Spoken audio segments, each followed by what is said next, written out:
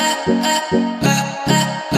दोस्तों, अगर आप भी विराट कोहली और रोहित शर्मा को दुनिया का सबसे खतरनाक खिलाड़ी मानते हैं तो हमारे इस वीडियो को लाइक ज़रूर खिंचेगा दोस्तों, पाकिस्तान को अपने टी ट्वेंटी वर्ल्ड कप के पहले मैच में अमेरिका से मिली हार भारी पड़ गई। उन्हीं के बौखलाए हुए फैंस ने खिलाड़ियों को बनाया जमकर निशाना और कर दी जमकर कुटाई। यहाँ तक कि बाबर आज़म की आ गई शामत। पाकिस्तानी फैंस का गुस्सा खिलाड़ियों पर जमकर फूटा और दिखा दिया अपना असली रूप। गाली देते हुए न केवल उनके साथ बदतमीजी की, बल्कि स्टेडियम से बाहर निकलते ही टीम की बसों के साथ साथ बाबर आज़म को घेर लिया और ऐसी दर्दनाक घटना को अंजाम दिया, जिसे देखकर हर किसी के रोंगटे खड़े हो जाएँगे। तो आखिर पाकिस्तानी फैंस ने क्यों बनाया अपने ही टीम को पीटने का निशाना? क्यों घिनौनी हरकतों पर उतर आए पाकिस्तानी फैंस उस दर्दनाक घटना का पूरा वीडियो हम आपको ज़रूर दिखाएँगे, लेकिन उससे पहले आपको क्या लगता है? रोहित बाबर में कौन बेहतर कप्तान है? कमेंट में ज़रूर बताइए। दोस्तों पाकिस्तान अपना टी ट्वेंटी वर्ल्ड कप का पहला मुकाबला अमेरिका के साथ न्यूयॉर्क के मैदान पर खेलने उतरी। इस मुकाबले में अमेरिका की टीम ने टॉस जीतकर पहले पाकिस्तान को बल्लेबाजी करने के लिए आमंत्रित किया और खुद गेंदबाजी करने का फैसला किया। लेकिन पाकिस्तान की टीम अमेरिका की घातक गेंदबाजी के आगे 20 ओवर में केवल एक सौ उनसठ रन, सात विकेट खोकर बना पाई। टीम की तरफ़ से सबसे अधिक रन कप्तान बाबर आज़म ने चौवालीस रनों की पारी खेली। इस लक्ष्य का पीछा करने उतरी अमेरिका की शुरुआत काफ़ी शानदार हुई। स्टीवन टेलर और मोनार्क पटेल ने मिलकर अच्छी शुरुआत दिलाई, लेकिन टेलर बारह रन बनाकर पवेलियन चले गए। वहीं कप्तान मोनार्क पटेल ने अपनी टीम को संभाला। वहीं मोनार्क पटेल के साथ एड्रस गॉस बेहतरीन बल्लेबाजी की और 50 रनों से अधिक की साझेदारी की। लेकिन ये दोनों बल्लेबाज पवेलियन चले गए। मोनार्क 50 रन बनाए तो वहीं एड्रस ने 35 रनों की पारी खेली और अंत में मुकाबला पूरी तरीके से फंस चुका था। नीतीश कुमार और एरोन जॉन्स बल्लेबाजी कर रहे थे और मुकाबला अंतिम गेंद तक पहुँच गया अमेरिका को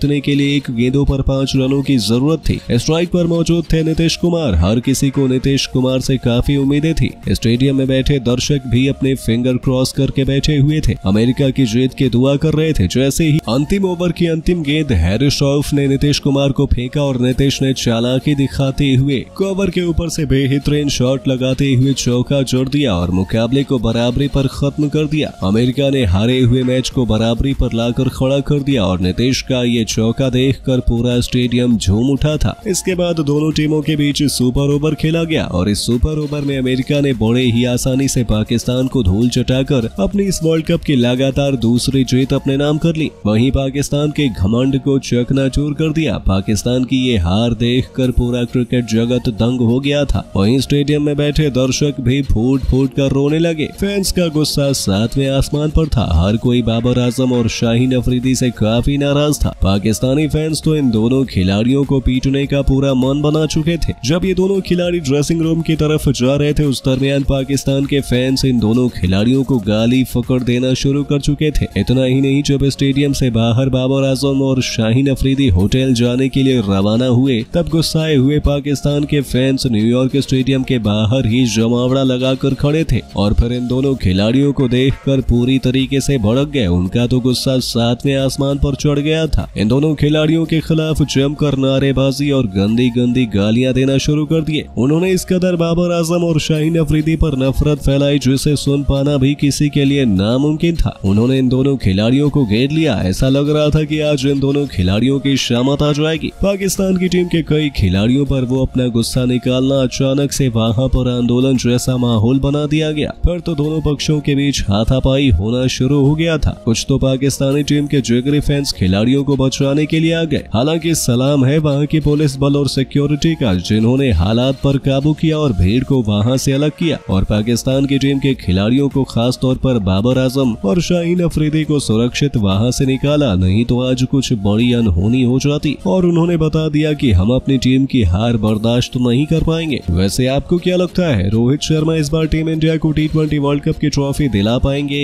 या नहीं? कमेंट में ज़रूर बताइए। और ऐसे ही शानदार खबरों के लिए सब्सक्राइब कर लीजिए हमारे यूट्यूब चैनल को।